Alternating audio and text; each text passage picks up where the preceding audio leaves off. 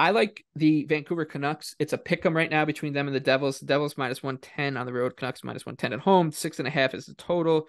Devils on the road, uh, they've ripped off uh, six out of seven, I believe, right? They're six, six and three. They started the season 0 and 2. Uh, they're playing incredibly well. You look at the advanced metrics, New Jersey, nobody's even close. Like they're they're ripping a 69.4% expected goals rate. Their high danger chance rate is like around 70%, a little higher than 70%. Uh, that's like eight to nine points higher than everybody. That's great. They're playing well. Uh, I definitely underestimated them, but it's going to come back down to earth. And the goaltending is still a concern.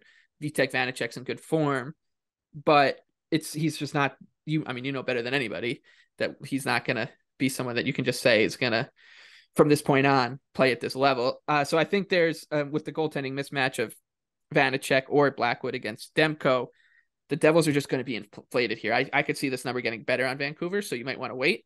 Um, it's because the Devils took a lot of money uh in that Avalanche game, so I think uh getting Vancouver as a pick 'em or better is my favorite bet. Uh, and I'll be looking to fade the Devils. I just think this is going to be like kind of the sell high spot on on New Jersey uh, because of what we just witnessed from them the past 14 days.